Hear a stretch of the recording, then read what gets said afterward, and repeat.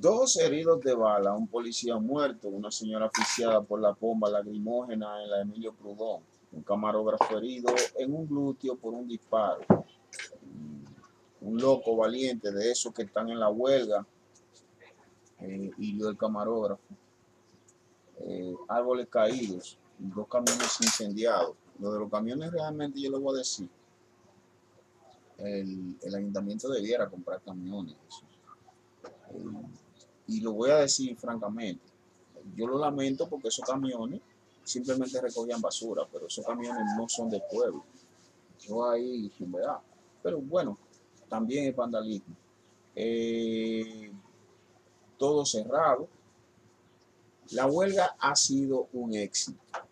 Eso nadie lo puede eh, discutir. Lo que sí nosotros estamos eh, observando es que el principal motivo de la huelga no se ha logrado. A nosotros nos quisieron crucificar simplemente porque nosotros decíamos que no estábamos de acuerdo con el movimiento huelgario que se está realizando en San Francisco de Macorís, que culmina hoy, eh, día 15, mes de abril, comenzó desde el día 14 porque no le encontramos sentido. la huelga por el no al lugar. En el, en el país entero hay una situación huelgaria. Y los otros días, Emilito Boris, en un programa, Emilio Boris del PhD, quien es una de las personas que más ha venido teniendo voz cantante en el caso del Ayuntamiento de San Francisco de Macorís, admitió que sí, que, que esto era un paro político lo que nosotros, yo cuestiono, es la forma en la cual se ha llevado a cabo este paro. Este es un paro que, como le dije, tiene dos heridos de bala, un policía muerto. A esta hora que son las 4 y 3 de la tarde, una señora muere asfixiada en la calle Emilio Prudón, una anciana. Y un camarógrafo de Telemicro resultó herido. Mi pregunta es, cuál es el motivo de, esta, de este paro. Porque eh, está bien, es un paro político, queremos fastidiar a Leonel Fernández, yo quiero ver al PLD fuera del poder, eh, yo quiero que se dé una respuesta clara al caso de los dos Félix, al igual que todos. Pero lo que a mí me ha molestado es ver que sea el pueblo el que está pagando los platos. En este momento, ¿dónde está Félix Rodríguez? ¿Cuánta bomba ha olido Félix Rodríguez? ¿Cuánta goma le han quemado a Félix Rodríguez frente a su casa? Quemaron dos camioncitos del ayuntamiento. Habría que ver si fueron los muchachos del Falco también. ¿eh? Habría que ver, ojo con eso. Me dicen que le fajaron a tiro al ayuntamiento. El ayuntamiento es de nosotros. Yo no, inclusive yo me cuesta trabajo pensar que sean los muchachos del Falpo, que a ese edificio que sea del, del que es del pueblo, ellos le caen a tiro. A mí me cuesta trabajo pensar. Eh, varios atracos, entre ellos una tienda en el primer día y un colmadito, como decía el señor del colmado, los pobres somos los que estamos sufriendo la huelga. Yo no estuve de acuerdo desde un principio con este movimiento huelgario porque no tiene sentido. Es tan risible que yo fui a entrevistar a la gobernadora provincial de Duarte, la señora Miledis Núñez Pantaleón, candidata a alcalde por el precandidata por el Partido de la Liberación Dominicana y ella nos decía claramente que la huelga no era contra el gobierno sino contra las acciones del Ministerio Público. Las acciones del Ministerio Público todos encontramos que están mal. Ahora, mi pregunta es, vuelvo y reitero, ¿Por qué tenemos nosotros que pagar eh, los platos? Los muchachos del Falco, hay gente que le, que le ha querido llamar delincuentes. Yo no creo que sean delincuentes, más bien yo pienso que estos muchachos lo que no tienen es una orientación en relación a esto. A raíz de esto que le han querido llamar eh, delincuentes, el padre eh, Moncho, conocido por todos nosotros, de la orden de los jesuitas, me parece, él le puso lo siguiente, suponiendo que sean delincuentes, pero me pregunto, ¿son esos los que han vendido el país? ¿Son esos los que han robado el dinero de los fondos públicos? ¿Están ahí los que han corrompido la justicia dominicana? Esos son los que compran la conciencia de los pobres por hojas de zinc, por una receta médica. Son ellos los que dan drogas en campaña política para conseguir un voto. Eh, en esto el padre Moncho tiene toda la razón, porque lo que sucede es que la mayoría de esos muchachos son muchachos que ellos perciben que tienen que defenderse, tienen que luchar y no puedo decir que alguien, alguien aprovecha su, su, su indignación, porque realmente la tienen como la tengo yo. Simplemente que yo veo un poquito más allá que ellos y no me dejo usar de la manera de ellos.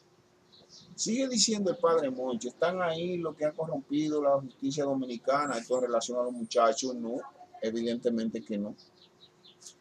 Esos son los que compran la conciencia de los pobres por hoja de signa, ya eso lo dije. Son esos los que llevan a la quiebra los bancos dominicanos y luego son protegidos por las autoridades. Se, encojona el padre Monchi y dice, coño, son esos los que han hecho millonarios, se han hecho millonarios a costa del pueblo. Si son tan valientes, atrévanse a llamar delincuentes y vagos a los que son responsables de la crisis que vive en el país. Yo los llamo delincuentes y vagos. Yo los juzgo como delincuentes y vagos. Eh, sigue diciendo el padre, el padre Moncho, eh, es muy fácil apuntar hacia los de abajo. Y hay delincuencia abajo, dice él entre, entre paréntesis. Pero el daño al país, todos sabemos de dónde viene. Seamos consecuentes y demos la cara. Vamos a sustituir la lucha de ellos y vamos a subirla. Los puros o que estamos esperando nuestra oportunidad para seguir la repartidera. El Padre Mucho tiene eh, un planteamiento excelente porque realmente somos nosotros los que debiéramos estar haciendo la lucha y no dejársela muchachos que no saben la diferencia en una propiedad del pueblo y una propiedad eh, eh, privada. Muchachos que no tienen el conocimiento. Ahora bien, hay un elemento que yo también quiero destacar. Yo estoy totalmente de acuerdo con el padre Moncho, pero hay un elemento que eh, hay que señalar. Estos muchachos son el resultado precisamente de gente que en el pasado tiraron piedra, hicieron de todo. La gente que nosotros tenemos ahora mismo en, en funciones públicas son personas que, quieras o no, ellos también eh, lanzaron piedras e hicieron cosas. Son personas que ellos, quieras o no, eh, fueron también tirapiedras. ¿Qué pasa? Cuando llegan al poder, ellos se olvidan de ese pasado. Empiezan a tomar de la miel, de la delicia del poder. Y se olvida que ellos fueron tirar piedra. O sea, la primera escuela que ellos tuvieron fue quemar gomas y tirar piedra. Vandalismo. Esa fue la primera escuela de la mayoría de los que hoy son funcionarios. Y que me lo nieguen los que son funcionarios del PLD hoy. La mayoría de ellos el que no tiró piedra aportó. El que no quemó goma hizo otro tipo de daño. Yo mismo llegué a, a, poner mi, mi bombita molotov. Yo no lo puedo negar. Ahora bien, ¿qué es lo que no se quiere? Lo que no se quiere es que eh, la lucha popular eh, sirva para hacer una escuela de los que cuando lleguen al poder porque muchos de esos muchachos van a, tratar de llegar por los sentimientos que ellos dicen tener ahora y que es posible que se olviden cuando ellos lleguen al poder. Eh, hay que enseñar a esos muchachos por qué razón eh, la diferencia entre un contenedor que, que aunque lo haya comprado Félix Rodríguez fue con nuestro dinero y a Félix Rodríguez que ellos están diciendo que es un un ladrón, hay que enseñarle la diferencia en un contenedor, hay que enseñarle por qué no se debe tumbar un árbol. El MPD tenía una técnica excelente en relación a esto cuando pasaban los movimientos huelgarios, ellos eh, llamaban a su militancia a capítulo, porque el, el, MPD tenía gente que hacía observaciones en el comportamiento de cada uno de sus miembros y quien no estaba a la par con la disciplina y los ordenamientos del movimiento popular dominicano, es para afuera que iba. Otro detalle que yo quiero eh, destacar era lo que hacían los comandos, los comandos clandestinos que se formaban cuando había algún tipo de manifestación. La función de estos comandos, entre muchas, era que si alguien se salía de la raya haciendo peaje o creando vandalismo, ellos lo retiraban Ahora no se ve nada de eso. Estos muchachos tienen una mala escuela de lo que es la lucha popular. No tienen una conciencia clara. Eh, yo no apoyo que le lancen piedra al hospital, yo no apoyo que rompan un semáforo, yo no apoyo que le rompan un cristal a un carro, yo no apoyo que quemen una goma, yo no apoyo que atraquen un colmado, aunque el asunto de los atracos eh, habría que ver si no es el gobierno que ha metido la mano, pero hay cosas que no están bien. Hay cosas que deben eh, ser comedidas. Porque qué maldito revolucionario soy yo cuando se muere una vieja por, por la piedra que yo le estoy tirando a la policía y la bomba que estos lanzan. Y yo me acuerdo que nosotros la devolvíamos con la mano, la bomba, y despejábamos el área. Estos tigres, además de eso, son pendejos.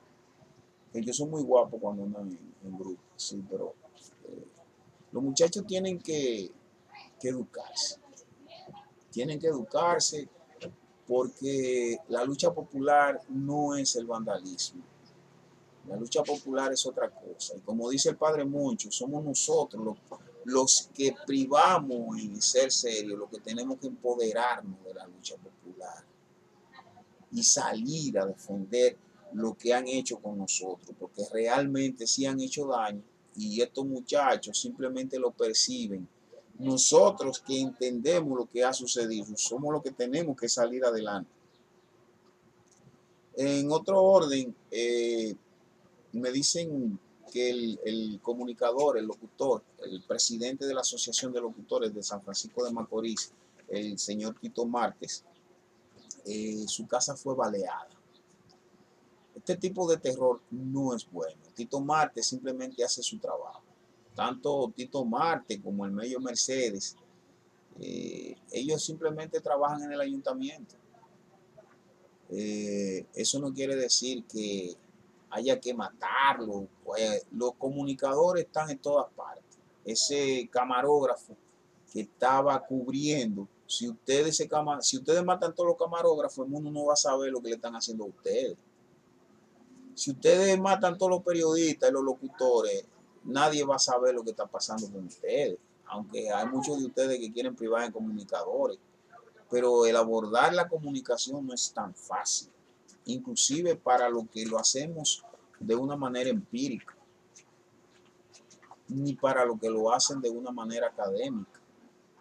Hay que tener ciertos criterios y ciertos parámetros que al parecer ustedes no están respetando. Eh, la lucha popular eh, se compone de muchas cosas y entre ellas es el respeto al rol que cada uno juega en ella. El terrorismo no ha dado ningún resultado en el mundo. Inclusive el terrorismo ha sido, como ustedes lo ven con los yadistas y el caso del 9 del 9-11, simplemente los terroristas lo que han sido tontos útiles de, los grandes poderes del mundo Y así lo prueba la historia. Así que el que vaya por ese camino va por el camino de los idiotas, de los imbéciles y estúpidos. Y la lucha popular necesita hombres inteligentes, brillantes, que sepan establecer la diferencia entre una cosa y la otra. Amigos, yo soy Héctor Jason. Esto fue una cápsula del día 14 del mes de abril, estando en huelga aquí en San Francisco de Macorís. Son las 4 y 16 de la tarde. Las noticias siguen fluyendo en relación a esta huelga. Eh, su principal objetivo no se ha logrado. Los jueces no, no han, no se han, ¿cómo se dice? No han renunciado, ni tampoco el alcalde. Vamos a ver en qué va a parar esto. Nos vemos en una próxima cápsula aquí en SFM Ciudad.